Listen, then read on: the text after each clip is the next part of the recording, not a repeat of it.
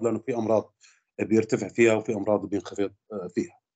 هلا بعض الأحصائيات عن ارتفاع الضغط الشرياني وفق منظمة الصحة العالمية معدل انتشار ارتفاع التوتر الشرياني بلغ 15 ل 20% من البشر يعني تجاوز عدد المصابين به تقريبا مليار شخص وهو أشع مرض آه، في العالم آه، يسمى بالقاتل الخفي لأنه آه، في غياب الضبط الجيد لقيم الضغط تطور اختلاطات قد تكون مهددة للحياة ومع ذلك ومع كل هذا الانتشار الواسع الشيء المفارقه العجيبه إنه لا تتجاوز نسبة المرضى الملتزمين بأخذ أدوية الضغط 10 ل 15% هناك بعض تعريف وتصنيفات مختلفة لقيم الضغط الشرياني ولكن بشكل عام القيم السوية عند البالغ السليم يجب أن لا تتجاوز 130 على 80 ملتر زئبقه طبعا عند كبار السن ممكن أن يعني يقبل لحد أعلى من ذلك لأنه الضغط عاده يرتفع مع التقدم بالعمر يعني عند المسنين فوق 70 سنة ممكن ينقبل لحد ال 150 لأنه بيرتفع الضغط الانقباضي مع التقدم بالعمر بسبب تصلب الشرايين وزيادة المقاومه الوعائيه المحيطة. عند مرضى السكري يجب أن لا يتجاوز 175 على 125 ملم زئبقي ولكن بشكل عام بالنسبة لنا كلويا ولحماية الكلي إنه ما يتجاوز 130 على 80 ملم زئبقي. يحدث ارتفاع الضغط بإحدى آليتين إما زيادة نتاج القلب أو زيادة المقاومة الوعائي المحيطي أو كلاهما. الضغط الشرياني هو حاصل آه، نتاج القلب آه، ضرب المقاوم الوعائي المحيطي. ارتفاع الضغط الانبساطي يعتبر أشد خطورة من ارتفاع الضغط الانقباضي. هي ما تنسوها لأنه أحيانا في حالات بيكون إنه المريض ضغطه 100 آه، الانبساطي والضغط الانقباضي بتلاقي 140 هو مبسوط على حاله ولكن هذا كمان يعتبر ارتفاع ضغط بشكل عام يقسم ارتفاع الضغط آه، الشرياني إلى نمطين أساسي أو بدئي وثانوي. ارتفاع الضغط الأساسي له عدة آه، تسميات. وهو نفسها كلها تحمل نفس المعنى آه، الأولي أو البدئي أو المجهول السبب. طبعا هذا النوع يشكل 90% من حالات ارتفاع الضغط الشرياني. حتى بعض المراجع بتقول إنه 95% يكون الشخص سليما وتحليله طبيعي دون وجود آه، مرض أو إصابات في أعضاء أخرى. يشاهد لدى الأشخاص في منتصف العمر يعني بأعمار 30 ل 50 سنة وغالبا ما تكون القصة العائليه ايجابيه. تكون المعالجة بهذا النوع من ارتفاع الضغط معالجة عرضيه تستمر مدى الحياة وهو يعني يشكل مشكلة حقيقية بسبب الكلفة المادية للدواء من جهة إضافة لوجود تأثيرات جانبية آه، للدواء ومن اسوأها هي العناني التي تسبب ضغطا نفسيا يفاقم المشكلة حتى في بعض المرضى ممكن يترك الدواء. هلا ارتفاع الضغط الشرياني الثانوي وهو اللي راح ندرسه بمحاضرتنا. هذا بشكل 10% من حالات ارتفاع الضغط وبكون المريض مصاب بمرض آخر أدى لارتفاع الضغط الشرياني. المعالجه هون بتكون معالجة موجهة نحو السبب نحو الآفة الأساسية وهو غالبا بيكون قابل آه، للشفاء. يكون ارتفاع الضغط عند المرضى هدول المرضى بيكونوا بأعمار أقل من 30 أو فوق ال 50 سنة. فارتفاع الضغط عند مرض عند المريض اللي بيكون عمره أقل من 30 سنة أو 50 سنة هو آه، ثانوي حتى يثبت العكس عند مقارب مريض ارتفاع آه، الضغط الشرياني نتوجه اولا لنفي الأسباب الثانوية مع أنه نسبتها قليلة ولكن ليش إحنا بنتوجه لنفي الأسباب الثانوية؟ لأنه اللي بيكون ارتفاع التوتر الشرياني ثانوي فغالبا بيكون قابل آه، للشفاء. فإذا ما وجدنا عند المريض أي سبب ثانوي فبنشخص إنه هذا ارتفاع ضغط آه، مجهول السبب أو أساسي.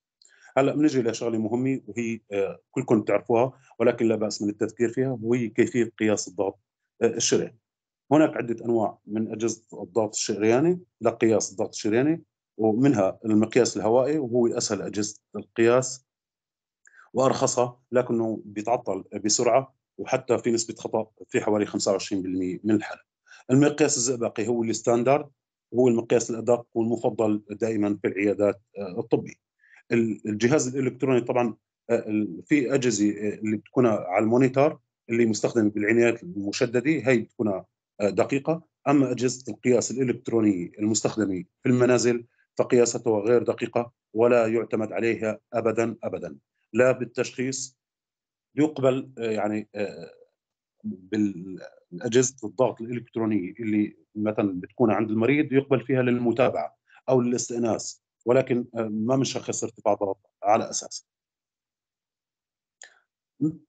بشكل سريع أجزاء مقياس الضغط وهي الكم. الكم هو جزء ثابت في جميع أنواع أجهزة الضغط له شكل مستطيل ويتألف من جزئين. جزء مبطن بكم مطاطي قبل النفخ وهو الجزء الأهم وجزء غير مبطن يلف حول العضد ويستخدم للتثبيت. إضافة لإجاصة هوائية لنفخ الكم وسماعة طبي للإصغاء مقياس زئبقي مدرج أو ساعة قياس هوائي. هلا بنجي على الشغلة المهمة وهي طريقة قياس الضغط الشرياني يوضع الجزء القابل للنفخ من الكم فوق الوجه الانسي للعضد فوق الشريان العضدي وأعلى ثنية المرفق ب 2 ل 3 سنتيمتر بحيث يكون الساعد حر الحركة. ما والله بتنزله بحيث يغطي المرفق لازم يكونوا فوق. يلف الكم حول الطرف بشكل مريح. ما بتشدوا كثير كثير بحيث والله يعصر آه، على يد المريض ولا بيكونوا مرتخي بحيث والله ينزل أو يتحرك آه، لحاله.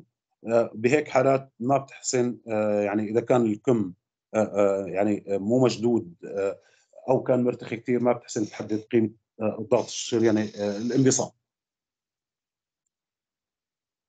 توضع ساعة القياس المتمثلة بصفر المقياس الزئبقي على مستوى الأذيني اليمنى بمعنى إنه إذا كان المريض متسطح ترفع جهاز الضغط على مستوى قلب المريض ما يكون والله تحت أو فوق.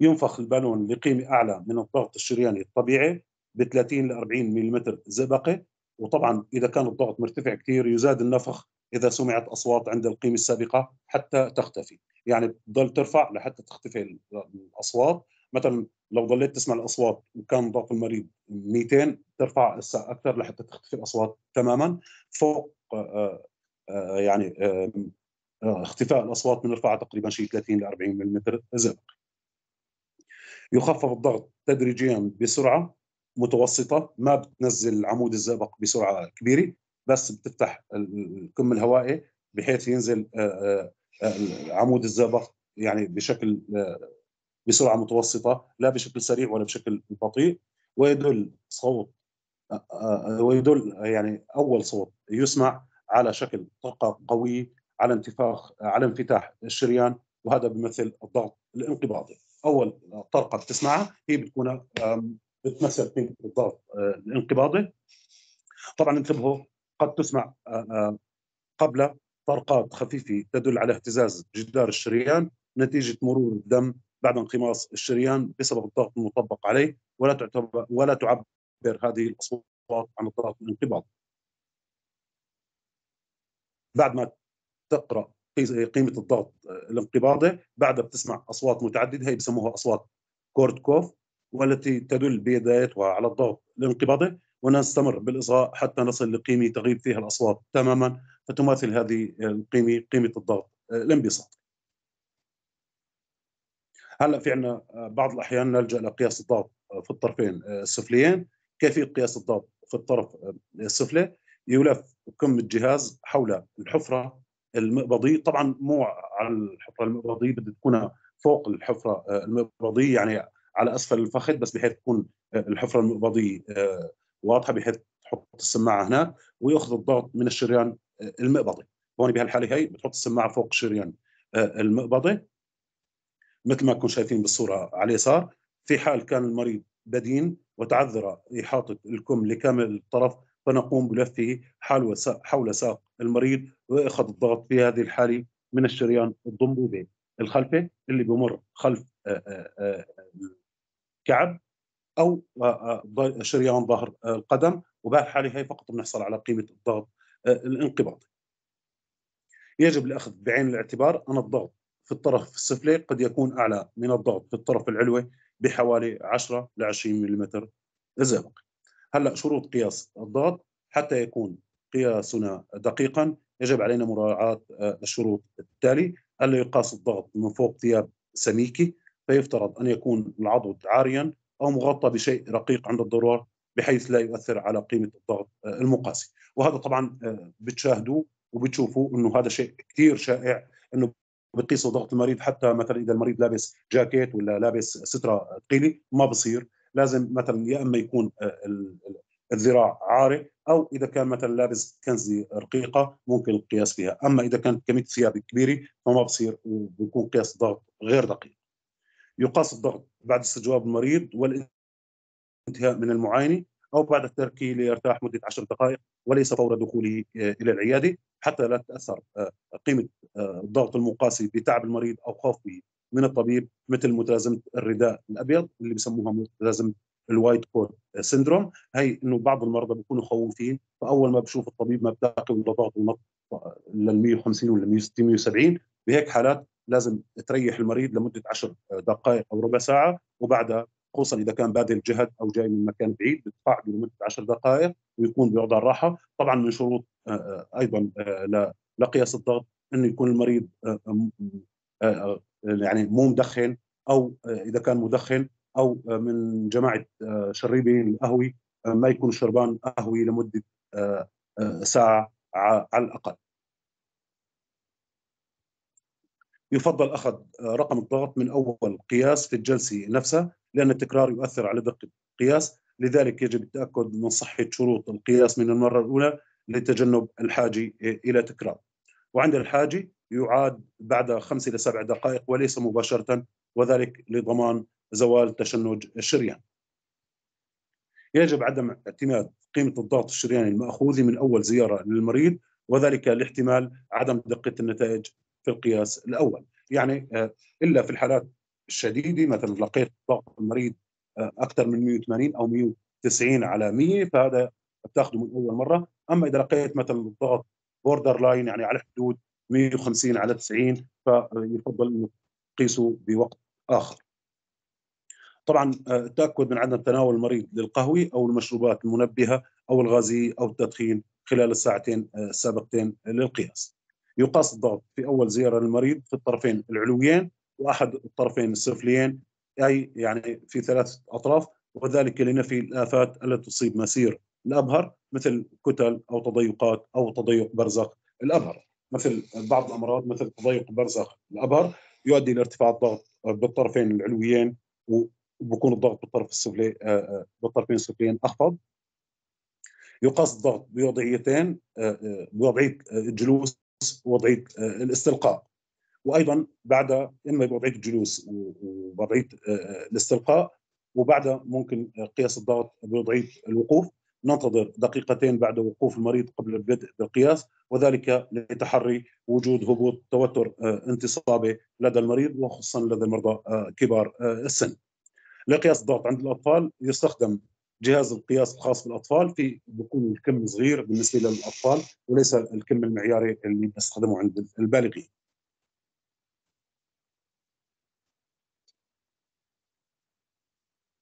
يوصل المريض باقتناء جهاز ضغط وبتعلمه كيف آه، طريقة القياس الصحيحة وذلك ليتابع ضغطه آه، بنفسه ويعلمنا آه، بارتفاعه لتقييم الخطة الدوائيه.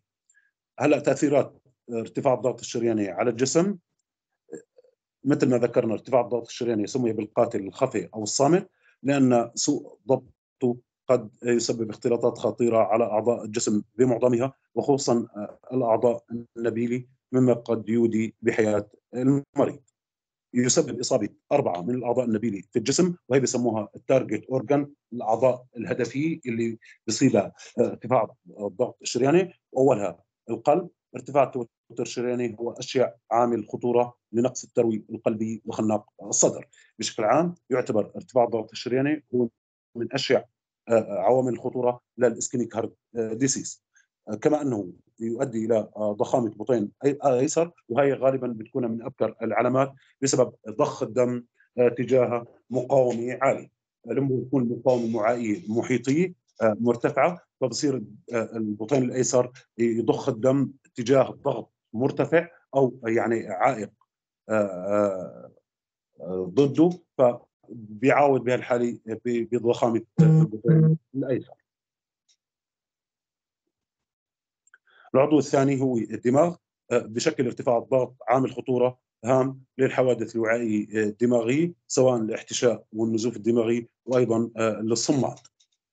من الأعضاء المهمة اللي بيأثر عليها ارتفاع الضغط وهي شبكية العين تفحص بمنظار قعر العين تتظاهر اذيه الشبكيه في سياق ارتفاع التوتر الشرياني على خمس مراحل حسب شدته. المرحلة صفر وهو بيكون لدى المريض ارتفاع ضغط دون تبدلات في الشبكيه المرحلة الأولى لارتفاع التوتر الشرياني هي ارتفاع توتر شرياني خفيف وهون يلاحظ علامة السلك حيث تظهر الاوعي لمعانا عند تسليط الضوء عليها مثل سلك النحاس. وهي هون صورة علامة السلك بيظهر لمعان هي بدل بالمرحلة الأولى لارتفاع التوتر الشرياني لذلك تسمى علامة السلك لأنه بيظهر لمعان الشريان بيظهر لمعان مثل سلك النحاس. المرحلة الثانية وهي هون مسمينا علامة الهرس. وهون هي بسموها التصالب الشرياني الوريدة. يتصلب الشريان المتوضع فوق الوريد ويهرسه. وهي نلاحظ فيها تصالب الشرايين مع الاورده نتيجه التعرج وهي أهم علامة إنه التصالب الشرياني الوريدة هي المرحلة الثانية. المرحلة الثالثة هي بتكون مؤلفة من المرحلة الثانية زائد نزوف شبكي ونتحات تشبه ندف القطن. مثل ما هون موضح باسفل الصورة. بتكون النزوف بالشبكيه والنتحات على شكل ندف القطن تماما مثل ما في موضح بصوره قعر العين هون. المرحلة الرابعة هي المرحلة الثالثة يعني بيكون فيها نزوف شبكي ونتحات بالإضافة لوذمه حليمه العصب البصر. العضو الرابع اللي بيتأثر بارتفاع الضغط وهو الكلي تتصف إصابة الكلي بأنها قد تكون سببا لارتفاع الضغط الثانوي كحالات تضيق الشريان الكلوي وإضافة لأنها قد تكون الكلي يعني هي ضحية لارتفاع الضغط الشرياني لأنه في حالات بتترافق مع اعتلال الكلي بارتفاع الضغط. قد ظهر تأثيرات فرط التوتر الشرياني على الكلي بارتفاع الكرياتينين تصلب كبة سليم ونادر ما يكون خبيث. أيضا قد ظهر على شكل بيلي بروتيني وأخيرا أذي كلوي قد تتطور إلى قصور كلوي مزمن تكون باقي الأعضاء النبيله غالبا ضحية لارتفاع الضغط الشرياني لذلك فضبطه مهم جدا للحيلوله دون ترقي إصابتها والمحافظة عليها. هلا راح ننتقل للتفصيل بأسباب ارتفاع الضغط الشرياني وإحنا مثل ما ذكرنا راح ندرس ارتفاع الضغط الشرياني الثانوي. أسباب ارتفاع الضغط الشرياني الثانوي انتبهوا تشكل الأسباب الكلوية 90% من الأسباب الثانوية لوحدها. أما ال 10% الباقي فتوزع على الأسباب الأخرى وتأتي في طليعتها الأسباب الغدي والأسباب القلبي. تتميز هذه الأسباب بسهوله تشخيصها بس يعني سهولة تشخيصها إذا كانت متظاهرة. أما في أغلب الأحيان بتكون صعب تشخيصها لأن طبعا مثل ما ذاكر هون إذا كان لها دلالات سريرية أو مخبرية مميزة. ولكن مو من السهوله أحيانا تشخيص الحالات الثانوية لارتفاع الضغط الشرياني. هلا مثل ما ذكرنا أسباب ارتفاع الضغط الشرياني الثانوي. الأسباب الكلوية تشكل حوالي 90% من الحالات ويأتي على رأسها تضيق الشريان الكلوي وآفات البرانشين الكلوي مثل التهابات الكبد والكلي والقصور الكلوي سواء الحاد ولا المزمن. الأسباب الغديه عندنا الأسباب النخامية بيأتي على رأسها داء كوشنج اللي يعني داء كوشنج هو عبارة عن ورم مفرز لل ACTH يسمى كوشنج النخامة. وفرط إفراز هرمون النمو وضخامه النهايات أو العملاقة بتؤدي لارتفاع التوتر الشرياني أيضا. الغده الدرقيه انتبهوا مو بس فقط فرط نشاط الدرق بيترافق مع ارتفاع ضغط راح نفصل فيهم لاحقا. فرط نشاط الغده الدرقيه وقصور الغده الدرقيه بيترافقوا مع ارتفاع ضغط. الشرياني أيضا فرط نشاط جارات الدرق اللي بيترافقوا مع ارتفاع كالسيوم الدم أيضا بيترافقوا مع ارتفاع توتر الشرياني الغده الكظريه ورم القواتم أو ال pheochromocytoma وأيضا متلازمة كوشينج طبعا اللي بيكونوا ناجم عن آفة نخامية يسمى داء كوشينج أما اللي بيكونوا ناجم عن أسباب من قشر الكظر فرط تصنع قشر الكظر زياده إفراز الكورتيزول من قشر إفراز ACTH هاجر. هذا يسمى تناذر أو متلازمه كوشنج وأيضا عندنا من الأسباب اللي تترافق مع ارتفاع الترشيني هي فرط الألدوستيروني البدئي أو متلازمه كون الأسباب القلبية اهمها تضيق برزخ الأبهر وأيضا قصور الصمام الابهري قصور الصمام الابهري بيحدث في زيادة بالضغط التفاضلي. فالمريض بيرتفع عنده الضغط الانقباضي وبينخفض عنده الضغط الانبساطي فبتلاقي الضغط التفاضلي بيناتهم فرق واسع كثير كثير فعند مرضى قصور الابهر أحيانا بتلاقي الضغط الانقباضي 160 والضغط الانبساطي 50 أو 40 أو أقل واحيانا حتى بيوصل للصفر. رح نتحدث عن الأسباب الغدية وهي بتشكل 1 ل 2% من حالات ارتفاع الضغط الشرياني ككل وحوالي 10% من الأسباب الثانوية لارتفاع الضغط. وأهمها الغدة النخامية. وافاتها اولا داء كوشنج وهو الناتج عن ورم نخامي مفرز لل ACTH. وهذا بشخص من علاماته السريرية مثل البدانة المركزي أو البدانة الجذعية والوجه البدري أو القمري بتلاقي وجه المريض مثل القمر مدور ومنتبج وبيكونوا هيك آه، أحمر. والحدبة الجاموسية أو بسموها آه، سنام البافالو والشعرانيه عند النساء واضطرابات الدورة الطمثية وبترافق أيضا مع الداء السكري والعد أو حب الشباب وكثير شغلات تدرسوها بالغدي. أيضا من الحالات اللي بتترافق آه، مع ارتفاع الضغط الشرياني فرط أفراز هرمون النمو ال growth hormone اللي بيؤدي للعملقه في حال ارتفع في حال فرط أفراز هرمون النمو قبل سن البلوغ فبيسموها آه، آه، العملقه أو ال gigantism بعد سن البلوغ آه، بيترافق بمرض اسمه ضخامة النهاية.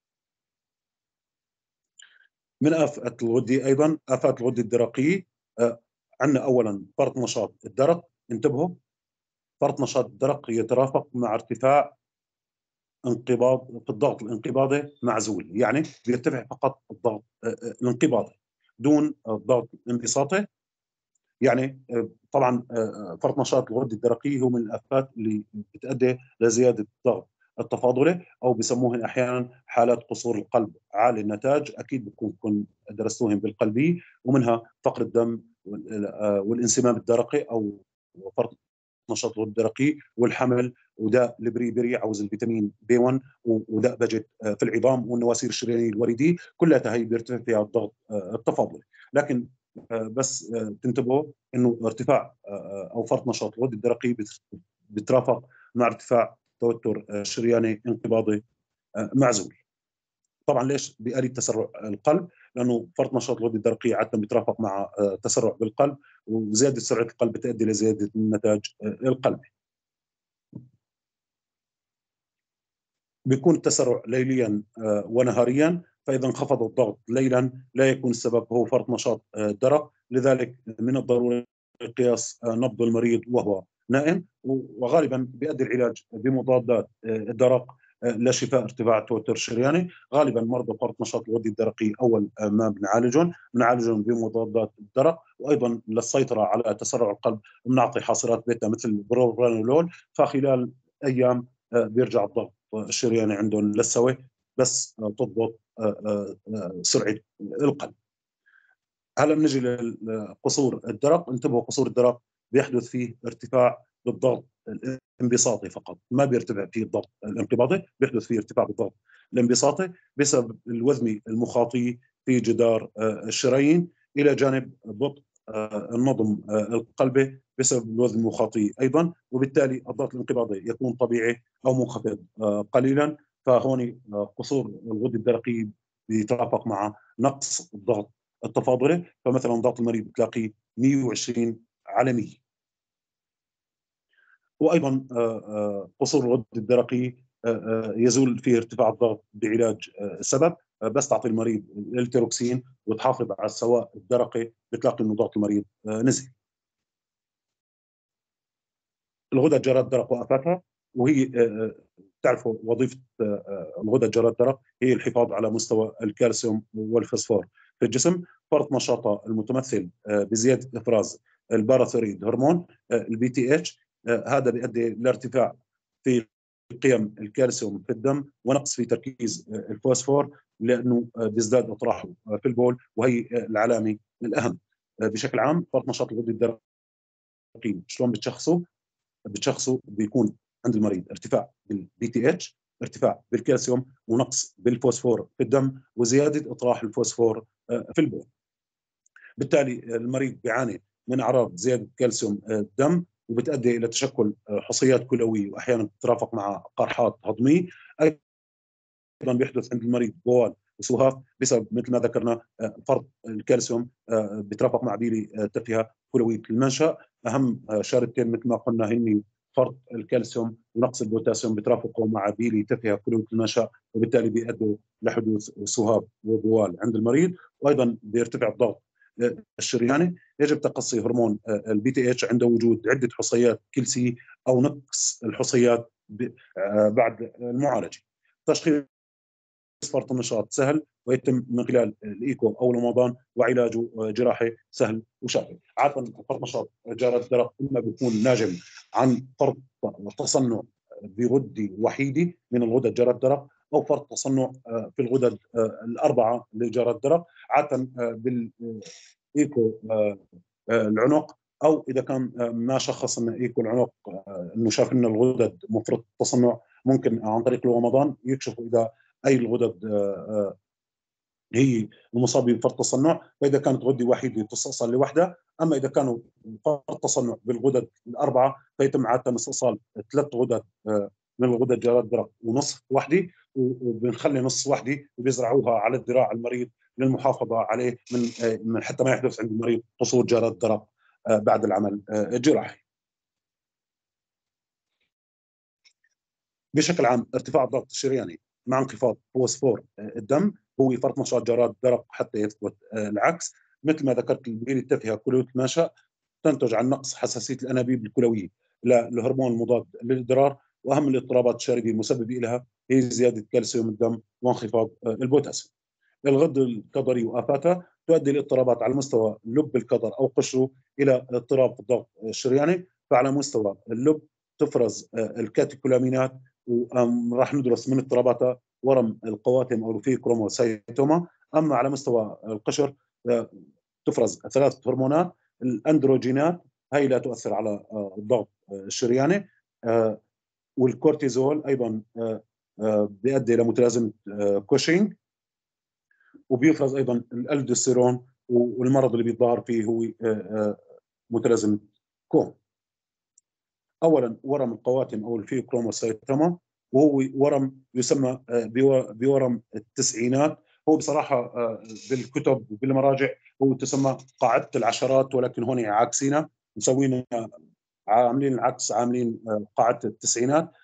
قاعدة العشرات هي بورم القواتم أو ال pheochromocytoma إنه 10% من الحالات يكون ثنائي الجانب 10% من الحالات يكون إفراز ال catecholamine هاجر خارج لب الكظر على طول السلسلة الودية و10% من الحالات يكون خبيث.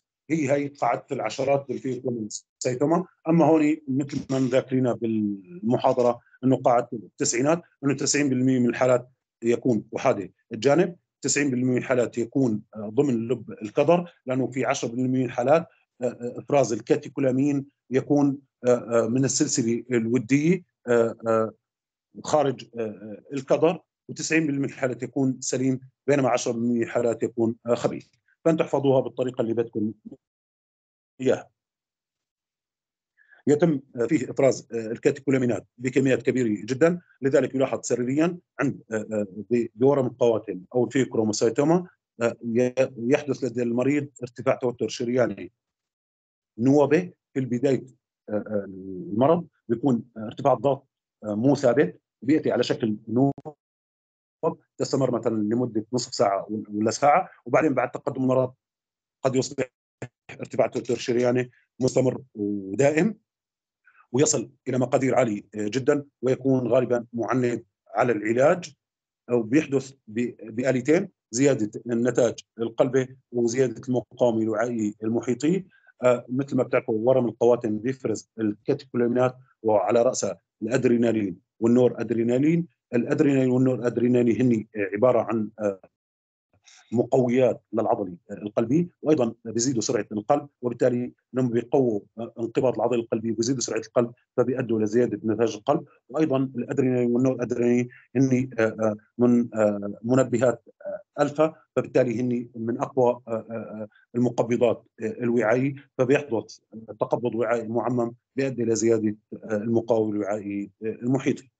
أيضا قد يترافق مع أعراض نفسية أحيانا نوبه ورم القواتم تظهر على شكل آه، مثل المريض بصير عنده ذهان آه، وتغير أيضا في لون المريض شحوب عند أفراز الكاتيكوليمينات وقت اللي بتنفرز الكاتيكوليمينات بكميات آه، كبيرة طيب بيحصل تقبض وعائي محيطي فبيحصل شحوب عند المريض وعند انخفاض مستوى الكاتيكوليمينات بترجع تتوسع الأوعية فبالتالي بيحصل احمرار عند المريض بالإضافة إلى تعرق وخفقان بشكل عام القصة الوصفية لل pheochromocytoma آه، إنه بيجيك مريض بيشكي من آه، نوب متكررة من الخفقان والتعرق والصداع واحمرار بالوجه. وقياس الضغط غالبا بيكون مثلا بتلاقي الضغط 190 على 100 أو 200 على 120 وبيأتي على شكل نوب فورا أول شيء بتفكر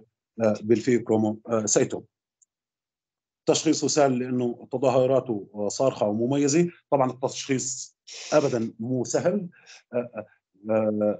التشخيص صعب كثير خصوصا تحديد مكان الورم المفرز للكاتيكولامين طبعا يؤكد تشخيص ال pheochromocytoma بمعايرة مشتقات الكاتيكولامينات مثل ال metanephrine وال vanillylmandelic acid بيرمزوا له بال VMA ال vanillylmandelic acid في بول 24 ساعة. نقوم بإجراء دراسه للمريض من خلال تصوير الطبقي المحوري والرنين المغناطيسي لتحديد مكان الورم والمعالجه تتم باستئصال الجراحي للورم وبتنخفض قيم الضغط بعد الاستئصال مباشرة.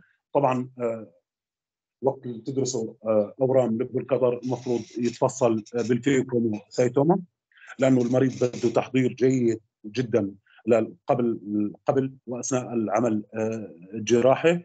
وانتبهوا عند مرضى ال pheochromocytoma ما بصير وصف حاصرات بيتا لوحدها لعلاج ارتفاع الضغط. لازم نعطي معها حاصرات ألفا. أول شيء تعطي المريض حاصرات ألفا مثل ال phentolamine لحتى تحسن تعطي حاصرات بيتا. أما إذا أعطيت حاصرات بيتا لوحدها فبتؤدي بشكل آه، تناقضي لارتفاع الضغط الشرياني أكثر فأكثر. أيضا من الأسباب الغدية متلازمة كوشينج السبب هون إنه بكون في فرط تصنع آه، بقشر الكظر أو آه، ورم مفرز للكورتيزول ويكون طبعا ACTH مثبط في هذه الحالة آه، بسبب التلقيم الراجع السلبي. متلازمة كون أو فرط الالدوستيرون البدئي هي مهمة غالبا هي تكون أورام سليمة في قشر الكظر أو ورم في حالات قليلة بكونوا ورم آه، سليم أو فرط تصنع في قشر الكظر بيؤدي إلى زيادة إفراز آه، الألدوستيرون من قشر الكظر فبيزيد حجم الدم وبيرفع الضغط الشرياني بقيم أعلى من متلازمة كوشينج لأنه عندما يزيد عود امتصاص الصوديوم يطرح عوضا عنه البوتاسيوم وشوارد الهيدروجين. الألدوستيرون بيؤدي إلى عودة امتصاص الصوديوم على مستوى الأنابيب البعيدة والجامعة وعودة امتصاص الصوديوم دائما قلنا بترافق معه الماء فبيزيد عودة امتصاص الماء وبالتالي بيزيد الحجم آه، داخل الأوعية وبيطرح بدل عنه آه، البوتاسيوم وشوارد آه، الهيدروجين. لذلك غالبا مرضى فرط الالدوستيرون البدئي بتلاقي عندهم قلاء استقلابي ناقص البوتاسيوم وهي شغلة كثير مهمه لا يوجد وذمات بيكون المريض عنده ارتفاع توتر شرياني ولكن متلازمة كون احفظوها. ما في وذمات آه، فيها. آه، رغم زيادة عود امتصاص الصوديوم وذلك بسبب التواصل آه، التوازن الحاصل بين الكبيبي الكلوي والأنبوبي. تشخيصه أهم مؤشر دائما أي مريض بتشوف عنده ارتفاع ضغط شرياني مع نقص بوتاسيوم. أول شيء بتفكر فيه هو متلازمة كون. لذلك إحنا دائما لما نطلب التحاليل لمريض ارتفاع الضغط إذا كان أساسي ما راح تلاقي شيء عند المريض ولكن نطلبها إحنا دائما لنفي الأسباب الثانوية لارتفاع الضغط مثل تخطيط قلب كهربائي نطلب وظائف الكلي والكرياتينين عشان نشوف إذا المريض عنده مشكلة كلوية ولا لا نطلب الشوارد وأهم البوتاسيوم. إذا لقيت أي مريض ارتفاع ضغط شرياني بدون علاج طبعا بالمدرات آه، غير معالج بالمدرات ولقيت عنده نقص بوتاسيوم خصوصا إذا ترافق مع حماض آه، آه، قلاء استقلابي فهون هو متلازمة كون حتى يثبت العكس. أهم مؤشر هو انخفاض قيمة البوتاسيوم والرينين، الرينين بيكون مثبط بسبب فرط الألدوستيرون البدئي. ذكرت لكم بالمحاضرة الماضية الالدوستيرون البدئي بيكون فيها زيادة بإفراز الالدوستيرون إفراز الالدوستيرون بكميات كبيرة يؤدي إلى تخفيض إفراز الرينين وبالتالي بتلاقي الالدوستيرون آه، آه، مرتفع والرينين بيكون آه، منخفض. طبعا بدون تناول ملينات أو مسهلات أو مدرات. طبعا لا ننسى ميل هؤلاء المرضى نحو القلاء. طبعا دائما هون الدكتور بيشدد على أنه ميل نحو القلاء ولكن بالمراجع دائما بيذكروا أنه متلازم تكون تترافق مع قلاء استقلابي ناقص البوتاسيوم بسبب زيادة طرح البوتاسيوم والهيدروجين. يتم التشخيص بإجراء CT لقشر الكظر وإثبات وجود الورم أو فرط تصنع بقشر الكظر المعالجة تتم بالاستئصال الجراحي وعند وجود مضاد استطباب للعمل الجراحي نلجأ للخيار الدوائي فنعطي معاكسات الألدوستيرون كالسبيرونولاكتون بشكل عام إذا مريض مثلا آه، آه، عنده متلازمه كون وبدك تعالجه. معالجة دوائيه أول خيار علاجي بيكون هو مضادات الالدسترون مثل السبيرونو آه، لاكتون عبين ما تسوي له العمل الجراحي هون مشددين على نفس الملاحظة. ارتفاع الضغط الشرياني زائد انخفاض البوتاسيوم عند مريض لا يتناول مدرات أو ملينات ولا يعاني من إسهالات أو اقياد هو متلازم تكون حتى يثبت العكس. راح نمر على الأسباب القلبية بشكل سريع. وأهم قصور الأبهر بيرتفع في قصور الصمام الابهري طبعا يرتفع فيه الضغط الانقباضي وينخفض الانبساطي وقد يصل الضغط الانبساطي لقيم منخفضة جدا قد تصل إلى الصفر. لكن هذا التظاهر يعتبر قليل الأهمية نسبة إلى الإصابة القلبية. تضيق برزخ الأبهر بيرتفع فيه الضغط في الطرفين العلويين فقط دون السفلية.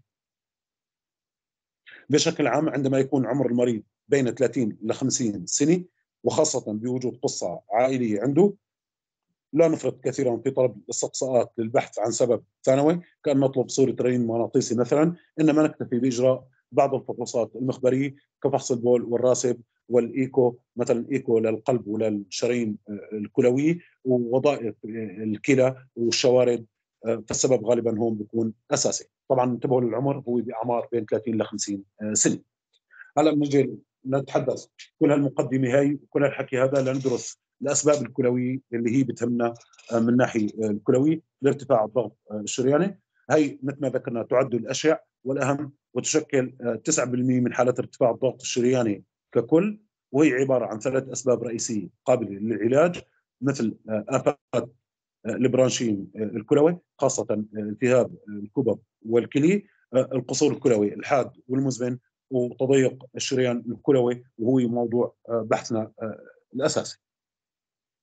هلا ارتفاع التوتر الشرياني الناتج عن تضيق الشريان الكلوي أيضا يدعى بارتفاع التوتر الشرياني الوعائي الكلوي بالمراجع الأجنبية دائما بيقول لك ال renovascular hypertension لما بقول لك renovascular hypertension هو المقصود في تضيق الشريان الكلوي تكون الكلي سليمة تماما فحص البول طبيعي ولكن تكون المشكلة في الشريان الكلوي الرئيسي أو أحد تفرعاته. لا يظهر ارتفاع التوتر الشرياني في تضيق الشريان الكلوي إلا عندما يصل التضيق إلى نسبة أكثر من 70% مواصفات ارتفاع التوتر الشرياني الوعائي الكلوي هاي مهمة آه، كثير. آه، الصفات اللي توجهنا بشده نحو ارتفاع التوتر الشرياني الوعائي الكلوي ال renovascular hypertension اولا أن يكون ارتفاع التوتر الشرياني ذو بدء حديث يأتي المريض بقصة ارتفاع ضغط شرياني حديث منذ أشهر لأنه بيكون التضيق وصل لنسبه أكثر من 70% أو أو قد يأتيك المريض لديه سابقا ارتفاع توتر شرياني مزمن لكن تفاقم وأصبح غير مضبوط على العلاج هون بتفكر بسبب ثانوي لارتفاع الضغط الشرياني. يعني مثلا لما بيجيك مريض عنده ارتفاع ضغط من 10 سنوات وكان مستقر على علاج أو علاجين من ادويه ارتفاع الضغط وفجأة أصبح الضغط غير مضبوط على العلاجين اللي كان يستخدمون وحتى أضفت له علاج ثالث وأصبح غير آه، آه، مضبوط. فهون بدك تفكر إنه في شيء حصل إنه سبب ثانوي لارتفاع الضغط. أو ارتفاع ضغط شرياني شديد غالبا يكون الضغط الشرياني مرتفعا بشدة في تضيق الشريان الكلوي حيث قد يصل لأرقام عالية جدا. مثل 200 ل 300 ملي زئبقي وخصوصا إذا كان ارتفاع ضغط شرياني مترافق مع وذمه الرئه أحيانا آه، آه، آه، ارتفاع تضيق الشريان الكلوي بيؤدي إلى حدوث وذمه الرئه بسبب ارتفاع الضغط الشرياني أو إذا كان لا يستجيب للعلاج بخفضات الضغط حتى مع استخدام عدة أصناف دوائية إذ لا يتراجع تماما إلا بعلاج التضيق. فمثلا من مميزات ارتفاع الضغط المترافق مع تضيق الشريان الكلوي إنه بتضيف للمريض علاج واثنين وثلاثة وحتى أربعة وما بتحسن تضبط الضغط. أهم سببين لارتفاع التوتر الشرياني المعند هدول ما تنسوهم هو ارتفاع الضغط الشرياني الوعائي الكلوي أو الناجم عن تضيق الشريان الكلوي وأيضا ورم القواتم أو pheochromocytoma. هلأ بالنسبة للجنس والعمر يشك بارتفاع التوتر الشرياني بسبب تضيق الشريان الكلوي هدول معلومات مهمة ولا تنسوها ابدا. إذا كان عند الإناث بعمر 20 ل 30 سنة فإذا كان شابة بعمر 20 ل 30 سنة بيكون السبب الرئيسي في هذه الحالة هو بسموه خلل التنسج الليفي العضلي ال fibromuscular dysplasia. عند الشباب تضيق الشريان الكلوي إذا سئلت تضيق الشريان الكلوي عند الشباب وخصوصا الإناث شو بكون السبب؟ بكون السبب ال fibromuscular dysplasia أما إذا كان آه، عند الذكور فوق ال 50 سنه فغالبا بكون سببه هو التصلب آه، آه، العصيبي. طبعا هذا لا يمنع حدوثه عند فئات أخرى لكن هي الأعمار هي الأشياء. أيضا من من الشغلات اللي بتوحي بتضيق الشريان الكلوي وهي سماع نفخة بالشريان الكلوي مثلا اعطاك لو فرضنا قصة لارتفاع الضغط متى ما لك سمعنا نفخة حول السرة أول شيء بتفكر فيه هو تضيق الشريان الكلوي وخصوصا إذا كان بالقصة في ارتفاع ضغط شرياني. آه، طبعا لا يشترط سماعها آه، تسمع في حوالي 70 من حالات تضيق الشريان الكلوي يتم التحري عنها على جانبي الخط المتوسط أعلى السرة بعد أخذ المريض شهيق عميق وهي عبارة عن نفخة بطنيه انقباضيه انبساطيه يعني بتكون نفخة مستمرة.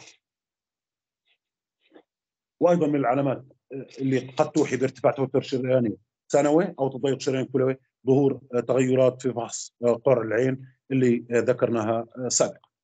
هلا اسباب تضيق الشريان الكلوي. هناك العديد من أسباب تضيق الشريان الكلوي نذكر منها. التصلب العصيدي وهذا اللي غالبا بنشاهده عند المتقدمين بالسن. وخلل التنسج الليفي العضلي ال fibromuscular dysplasia. هذا غالبا بنشاهده عند الشباب.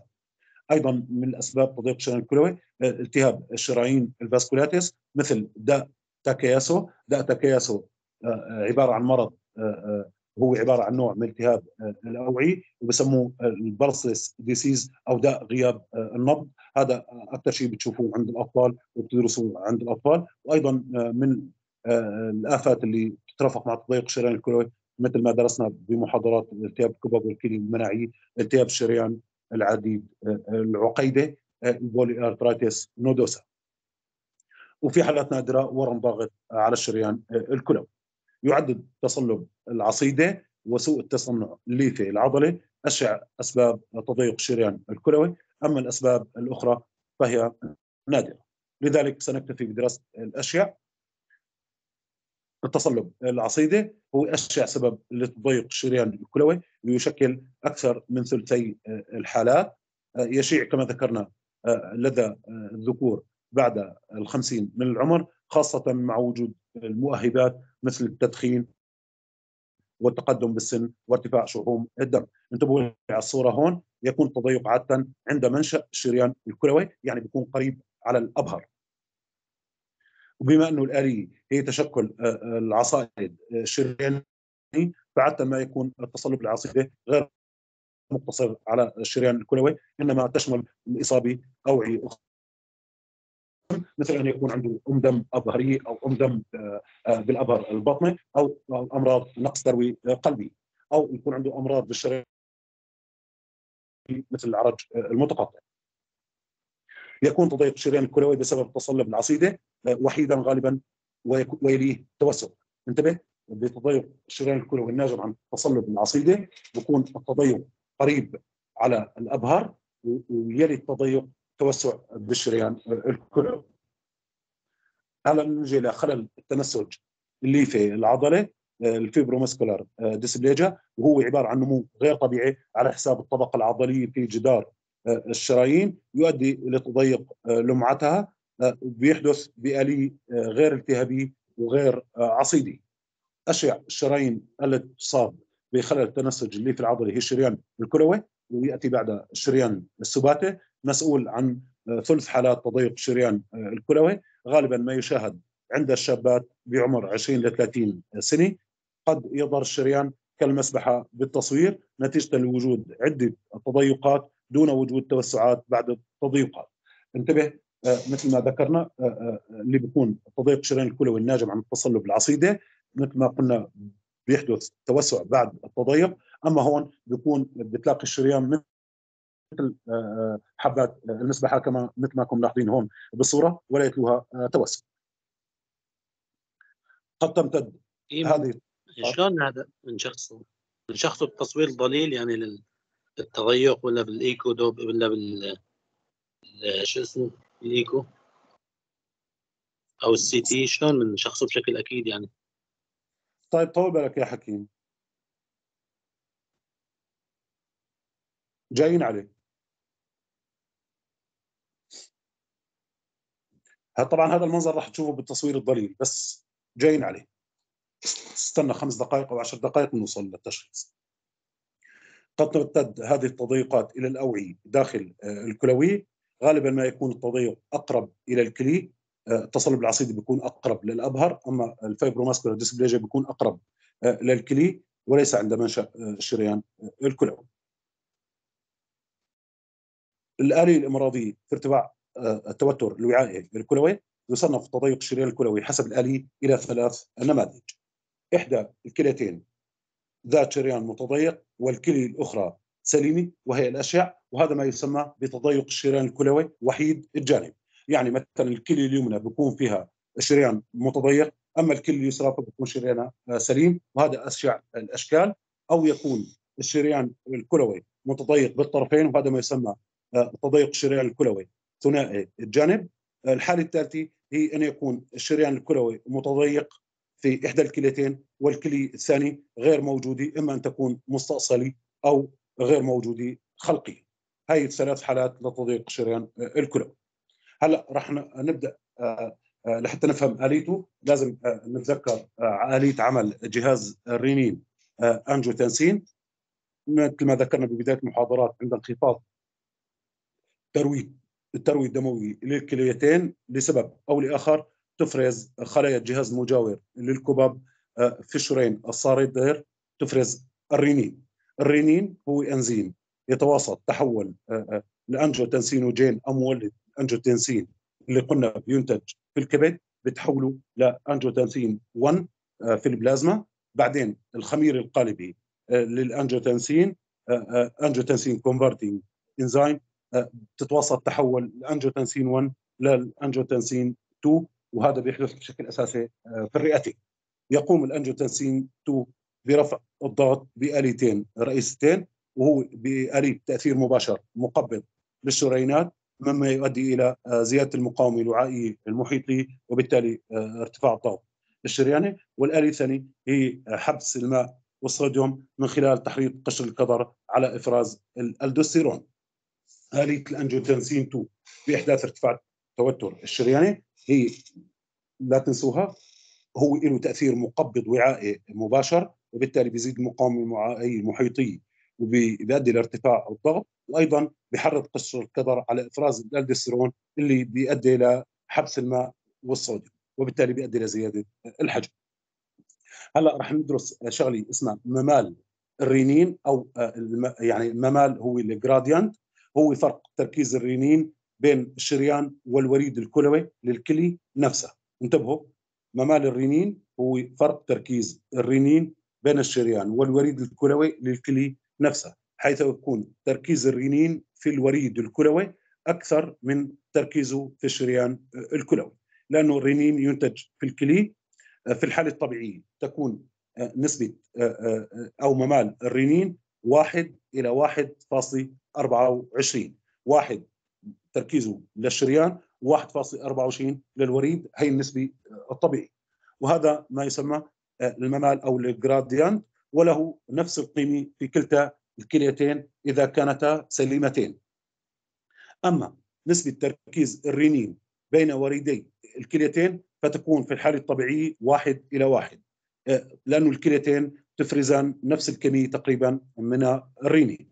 انتبهوا ممال الرينين هو الفرق تركيز الرينين بين الشريان والوريد الكلوي بتكون نسبته 1 إلى 1.24 في نفس الكلي أما نسبته نسبة تركيز الرينين بين الوريدي الكليتين بتكون النسبة 1 إلى 1 هلأ راح نجي ندرس النموذج الأول للتضيق أو التضيق الشريان الكلوي احادي الجانب بيحدث في إحدى الكليتين وبكون التضيق أكثر من 70% بينما يكون شريان الكلي الأخرى سليم. يؤدي وجود تضيق في الشريان الكلوي إلى انخفاض التروي الدموي للكلي المصابي. إذا كان الشريان الكلوي متضيق في إحدى الكليتين بده يؤدي لتخفيف التروي الدموي للكلي المصابي. فهي الكلي المصابي حتى تعود تفرز كميات كبيرة من الرينين لزيادة التدفق الدموي إليها.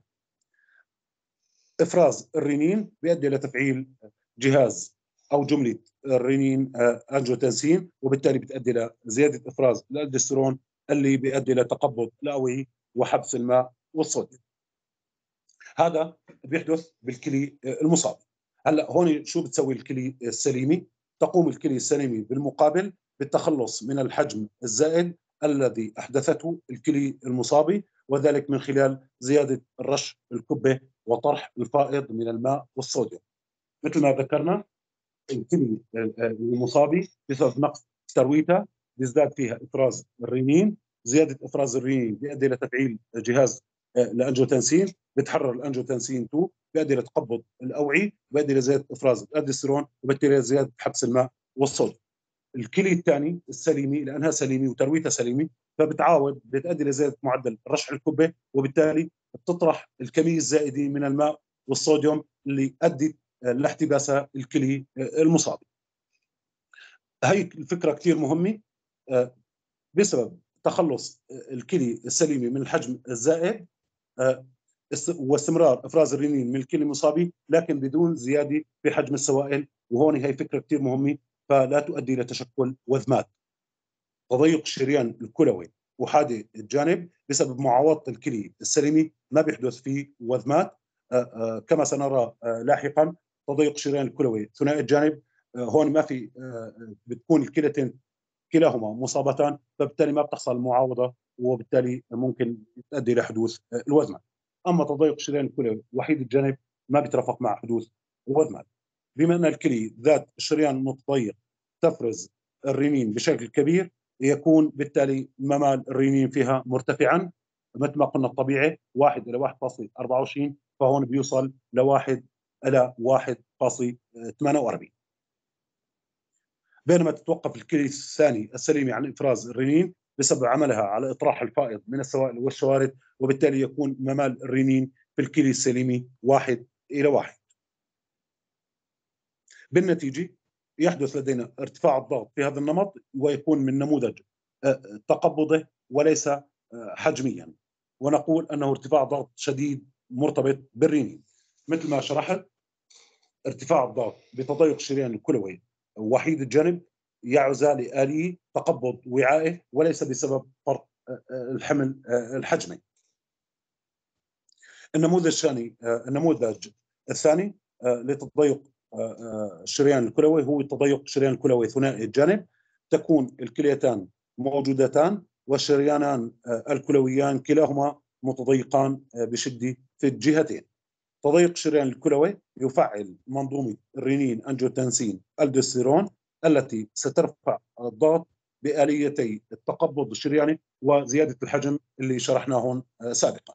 لكن في هذه الحالة كلا كلا الكليتين مصابتين فلن يحدث لدينا اضرار للسوائل المحبوسة في الجسم لذلك يبقى الحجم مرتفعا وتحدث الوزمات انتبهوا للفكرة هاي وحتى تحسنوا تميزوا بيناتهم. يسبب ارتفاع الحجم حدوث تلقيم راجع سلبي للرنين فيتوقف إفرازه. مثل ما ذكرنا تضيق الشريان الكلوي احاد الجانب يكون الرنين منخفض. أما هون بكون معتمد على الرنين تضيق الشريان الكلوي وحيد الجانب بكون فيه الرنين مرتفع أما هون بيحصل فيه تلقيم راجع سلبي فبتوقف إفراز الرنين وبالتالي بيكون الرنين منخفض. بتضيق الشريان الكلوي وحيد الجانب بيكون الرنين مرتفع وبالتالي بيكون معتمد على الرنين أما بتضيق الشريان الكلوي ثنائي الجانب فيكون الرنين منخفض.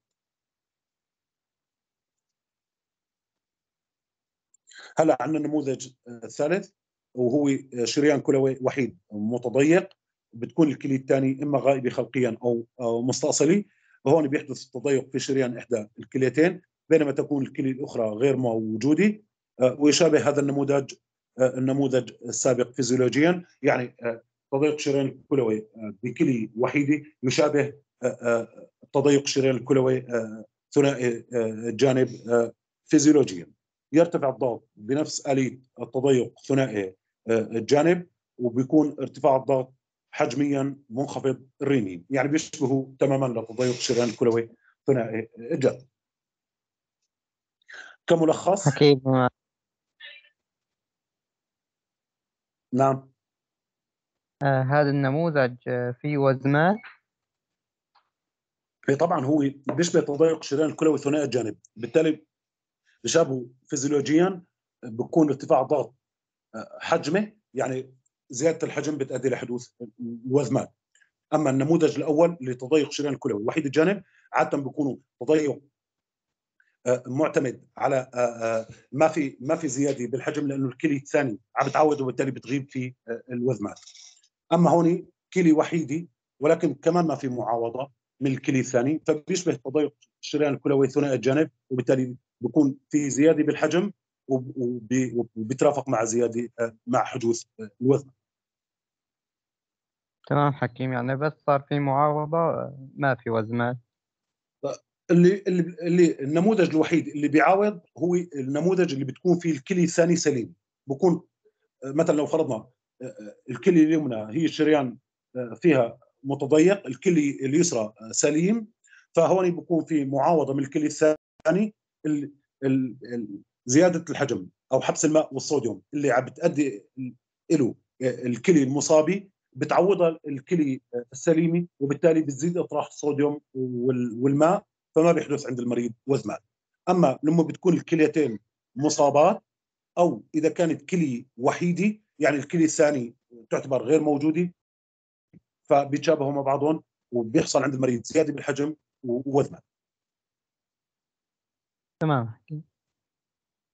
هلا بالنتيجة عندنا ارتفاع ضغط في النموذج الأول هو بيكون ناجم عن تقبض وعائي وبكون عالي الرنين وطبيعي الحجم بسبب المعاوضة.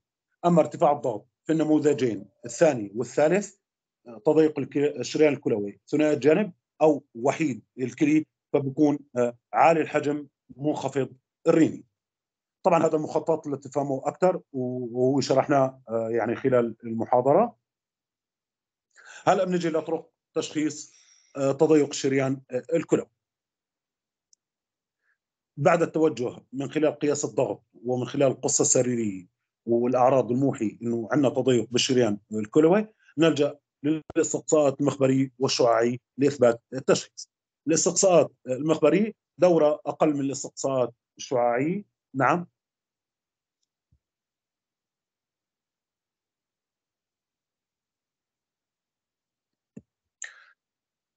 في التحاليل المخبريه عادة نجد ارتفاع طفيف في البولي والكرياتينين وبداية قصور كلوي معايرة فعالية رينين البلازما plasma renin activity يكون الرينين في تضيق الشريان الكلوي وحيد الجانب مرتفعا بينما يكون طبيعيا أو حتى منخفض في التضيق ثنائي الجانب وتضيق الشريان الكلي الوحيد.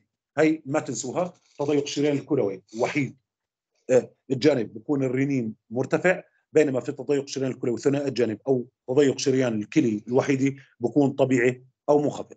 هلأ أحد الاختبارات اللي ممكن يلجأوا له هو اختبار الكابتوبريل بسموه ال captopril challenge test. الكابتوبريل هو أحد مثبطات الخمير القالب للأنجيوتنسين يعطى المريض حبة كابتوبريل 25 ملي جرام ثم ننتظر لمدة نصف ساعة فإذا كان هناك تضيق في الشريان الكلوي وحيد الجانب لأنه هو المفروض انه بيكونوا الرنين مرتفع بيثبط الانجيوتنسين وبتتوسع الاوعيه وبينخفض الضغط الشرياني لكن انتبهوا هذا اختبار الرنين أصلا لا يلجأ إليه. كل من معايره الرنين واختبار الكابتوبريل انتبهوا غير نوعيين لتضيق الشريان الكلوي لأنهما لا يميزان تضيق الشريان الكلوي عن الأسباب الأخرى. أو لفرط التوتر الشرياني الأخرى وارتفاع الضغط الشرياني الأساسي قد يكون أيضا عالي الرنين وبالتالي ينخفض الضغط بإعطاء الكابتوبريل وبالتالي ما لهم قيمه معايره البوتاسيوم ينخفض البوتاسيوم بسبب فرط إفراز الألدوستيرون الثانوي انتبهوا حتى تضيق الشريان الكلوي يترافق مع نقص بوتاسيوم بسبب حدوث الألدوستيروني الثانوي. انتبه عندما يكون لدينا نقص بوتاسيوم مع ارتفاع ضغط شرياني نفكر بمرضين الالدوستيرون البديهي أو داء كون هون بيكون إما فرط تصنع أو ورم سليم adenoma مفرز للالدوستيرون يؤدي إلى زيادة إفراز الالدوستيرون ويكون ارتفاع ضغط غير شديد عادة الالدوستيرون البديهي بيكون ارتفاع ضغط كثير يعني بيوصل ل 160 170 ملم زئبقي وبيترافق مع نقص البوتاسيوم أو تضيق الشريان الكلوي. وحيد الجانب هون بيحصل فرط ألدوستيرون ثانوي ويكون الضغط مرتفعا بشدة. كما نميز بينهما بعيار الرينين. مثل ما سبق وشرحت لكم وراح نرجع نذكر فيها الألدسترون البديهي أو متلازمه كون بيكون فيها فرط بإفراز الألدسترون وبالتالي بيكون الألدسترون مرتفع الرنين بيكونوا منخفض. أما بالالدوستيروني الثانوي مثل تضيق شريان الكلوي بيحصل في تضيق شريان الكلوي بيكون المرتفع طبعا في النوع وحيد الجانب. بالالدوستيرون الثانوي عادة بيكون الالدوستيرون والرينين اثنيناتهم مرتفعات. وقلنا لكم فرط الالدوستيرونية الكاذب أو متلازمه ليدل بكون الالدوستيرون والرينين اثنيناتهم منخفض هلأ في شغله اسمها العيار الطابقي. للرنين سمي بالعيار الطابقي لأن العينات تؤخذ من أكثر من مستوى وعاء بيدخلوا بقسطره عن طريق الوريد الفخذي ومن ثم إلى الوريدين الكلويين وتؤخذ عينات من عدة مستويات. تؤخذ عينه من الوريدين الكلويين وأيضا من الوريد الأجوف السفلي. بمستوى أعلى من الوريدين الكلويين وأيضا بمستوى أخفض من مستوى الوريدين الكلوي. إذا كانت النسبة بين تركيز الرينين في الوريدين الكلويين أكثر من واحد إلى واحد ونص أو واحد إلى 1.48 فهذا يوجه لتضيق في الشريان الكلوي للكلي ذات قيمة الرينين الأعلى.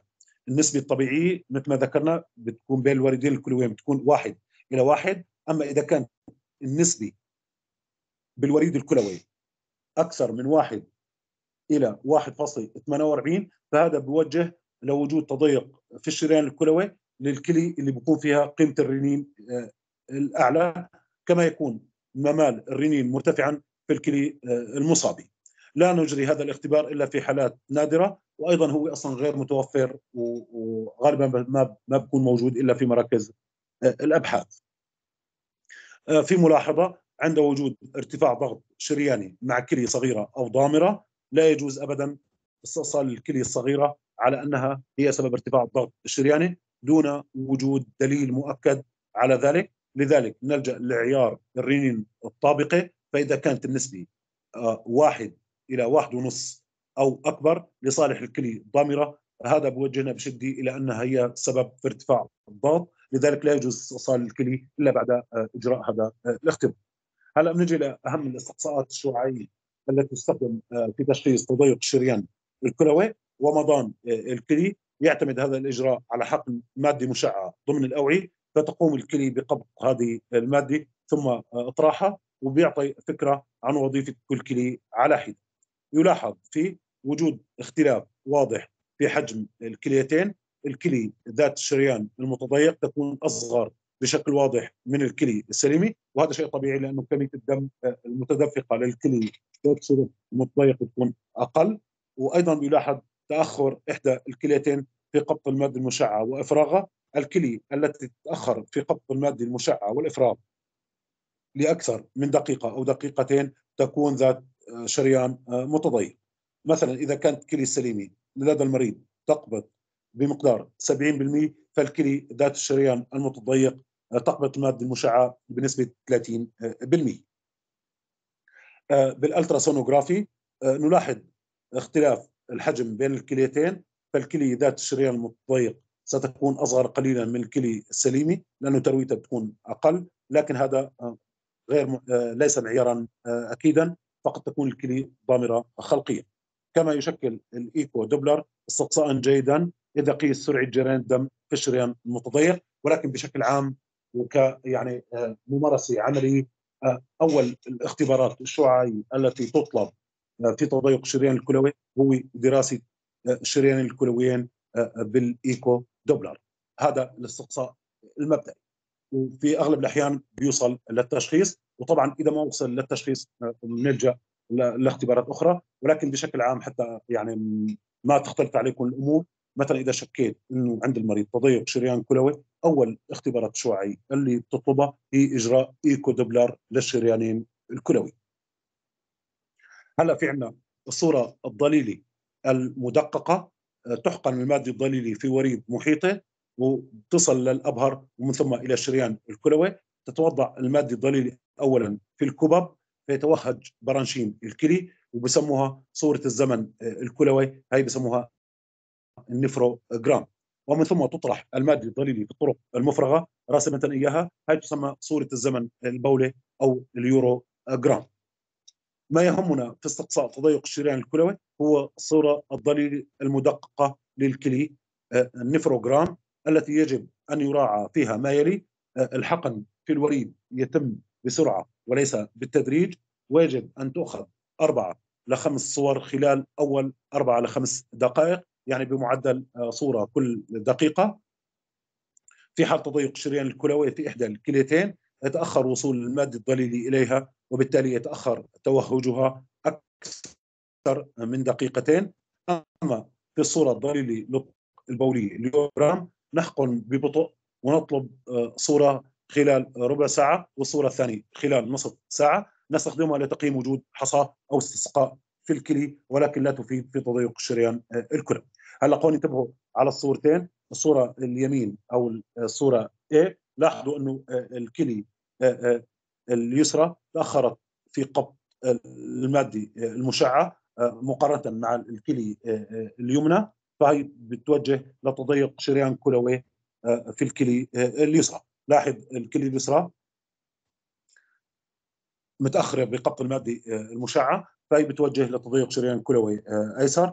أما بالصورة اللي على اليسار. هي صورة ضليلي مدققة للكلي. لاحظ الكلي اليمنى أخف توهجا من الكلي اليسرى. فهي بنشك إنه فيها تضيق بالشريان الكلوي لاحظ الكلي اليسرى كيف متوهجه أما الكليه اليسرى بتلاقيها آه، الكليه اليمنى باهته فهي بتوجه لتضيق شريان آه، الكلى هلا تصوير الشرايين الضليل إذا سئلته ما هو المعيار الذهبي؟ أو التشخيص الأكيد لتضيق شريان الكلى فبكون عن طريق تصوير الأوعية. الضليل وهذا جواب لسؤال آه، زميلنا. وهو أفضل وسيلة للتشخيص في تضيق الشريان الكلوي خصوصا أنه يفيد في التخطيط للجراحة وأخذ القرار فيما إذا كان التضيق قابلا آه، للعلاج الجراحي أم لا. لتصوير الاوعي الظليل نوعان حسب المكان الذي نحقن فيه المادي الظليلي إما أن يكون غير انتقائي تحقن المادي الظليلي في مستوى الأبهر وبعدها ترتسم فروع الأبهر أو يكون selective انتقائي وهو اللي مستخدم حديثا آه، آه، لتقييم تضيق الشريان الكلوي باستخدام التصوير الطبقي المحوري متعدد الشرائح أو بسموه ال high resolution CT ونقوم بتحديد الوعاء المراد تصويره وهون بيتم بإجراء قثطره انتقائيه للشريان آه، الكلوي وتحقن في الماده الضليلي فيتم آه، ارتسام آه، الشريان الكلوي فقط. يكشف تصوير الشريان الكلوي الظليل وجود تضيق في الشريان الكلوي. ففي حال وجود عصائد منتشرة في فروع مختلفة من الأبهر فهون بكون السبب التضيق هو تصلب العصيدة. بينما عندما لا نجد عصائد ففي في فرط التنسج العضلي وهو أصلا ما له علاقة بالعصائد هلا لاحظ هون الصورة اللي على اليمين مثل ما ذكرنا التضيق الناجم عن فرط التنسج اللي في العضله أو ال fibromuscular dysplasia بيأخذ شكل حبات المسبحه أو بكون على شكل عقد فهذا بيتماشى مع فرط تنسج ليفي عضلي أما هذا هون التضيق لاحظ التضيق هون area of narrowing قريبه من الأبهر وهي آفي وحيده وبيحصل غالبا بعد توسع بالشريان آه، الكلوي. فهذا بيكون ناجم غالبا عن تصلب العصيدة. وخصوصا إذا وجدنا آفات آه، آه، تصلبي أو عصيدات شريانية في في أماكن أخرى مثل إذا لقينا أم دم أبهر بطني أو أم دم أم دم الأبهر الصدري أو إذا المريض عنده نقص تروي قلبي أو آفات بالشرايين المحيطيه فهذا كثير بوجه إلى انه يكون السبب هو التصلب العصيدي وبشكل عام العمر هو بوجه نحو السبب. فإذا كان المريض شاب غالبا نتوجه نحو ال fibromuscular dysplasia. أما إذا كان المريض مسن فغالبا نتوجه أنه السبب هو الاثيروسكليروسيس فلهون وبنوقف وبنتابع بالمحاضرة القادمة إن شاء الله. إذا في حدا عنده سؤال آه، يتفضل.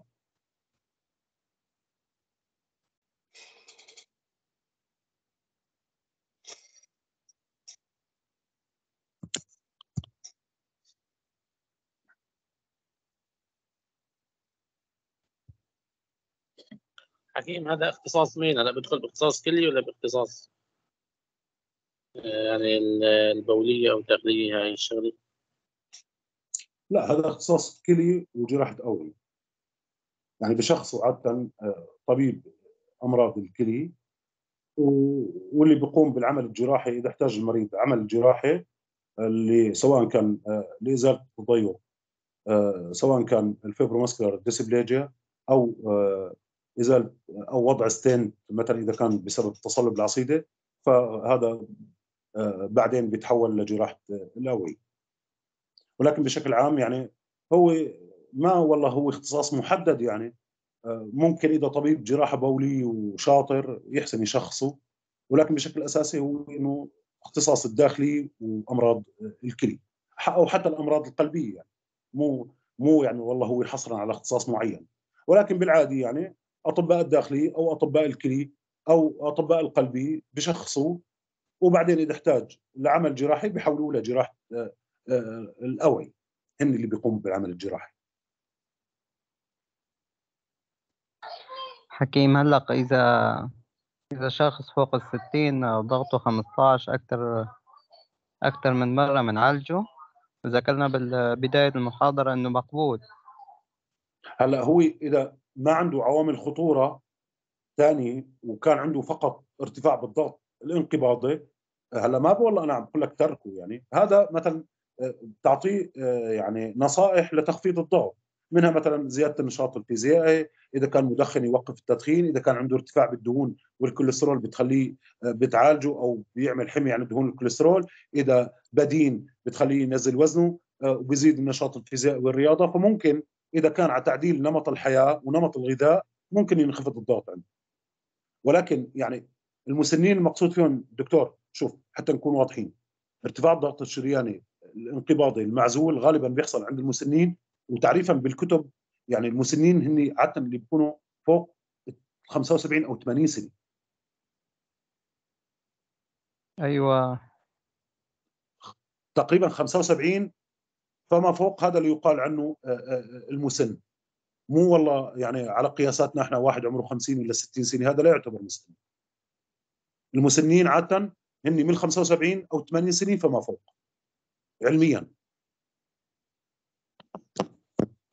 تمام دكتور هذول اللي بتزود عندهم نسبة آه، حدوث ارتفاع الضغط الانقباضي المعزول ولكن يعني مثلا إذا مريض مسن ليش؟ ليش المسنين بتكونك حذر بعلاج الضغط عندهم؟ آه، لأنه بتكثر عندهم الآفات التصلبيه الشريانيه وبيكثر عندهم شغله اسمها هبوط التوتر الانتصابي. بتكون مستقبلات الضغط عندهم بالشرايين السباتيه آه، آه، فيها اعتلال أو مثلا المريض عنده اعتلال أعصاب أو شيء فبتعرضوا كثير لحدوث ال postural hypotension. فبالتالي المريض أحيانا إذا قام بشكل مفاجئ ممكن يسقط وبتحصل كثير عند المرضى المسنين إنه بصير عندهم هبوط توتر انتصابي وبالتالي إذا أعطيتهم أدوية ضغط وخصوصا مثلا مدرات أو غيرها ممكن تؤدي أو بتزيد حث بتزيد نسبة حدوث هبوط التوتر الانتصابي وبالتالي ممكن تعرضهم آه، للسقوط أو لحوادث آه، الكسور. فلذلك بنكون حذرين كثير عند مرضى آه، المسنين فوق 80 سنة بالتشخيص وباعطائهم علاج دوائي لارتفاع الضغط. فإذا كان ضغطه مثلا 150 فيعتبر مقبول. أما أعلى من هيك إيه بتعالج. ولكن لحد ال 150 يعتبر آه، طبيعي عند مريض مثلا مسن عمره 80 سنه خوفا من حدوث حوادث السقوط وهبوط توتر آه، الانتصاب ممكن تسبب عنده CVA حكيم؟ إنه نقص تروية دماغية إذا نزل له الضغط كمان. ممكن بس لكن يعني هي الخوف الأكبر إنه إنه المسنين آه، بتكسر عندهم حوادث آه، ال postural hypotension وبالتالي إذا أعطيتهم خافضات ضغط بتزيد أعلى بتزيد أكثر. لذلك بتكون حذر وخصوصا المدرات خصوصا اعطائهم المدرات بتزيد نسبة آه، حدوث هبوط توتر الانتصابي خصوصا لدى المسنين.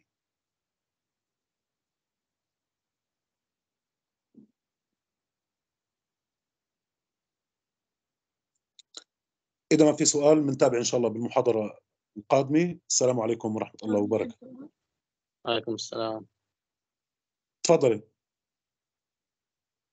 آه، هلا الاستقصاء المبدئي لتضييق الشرايين الكلوية قبل تصوير الظليل.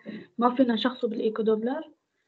عم أنا حكيت لكم دكتورة حكيت لكم الشيء النظري وحكيت لكم الشيء العملي، الشيء العملي إذا جاك مريض لأنه مثل ما مثل ما كنتم شايفين بالدراسة النظرية بيدرسوا كل يعني بيحطوا كل الاستقصاءات ولكن عمليا وما يتم العمل فيه يعني آه، بالممارسة العملية هو إنه إذا شكينا إنه آه، صبي أو مريض شاب عنده تضيق بالشريان الكلوي أو حتى لو كان مسن وشكينا إنه عنده تضيق بالشريان الكلوي أول استقصاء شعاعي يطلب هو ال echo Doppler للشرايين الكلوي.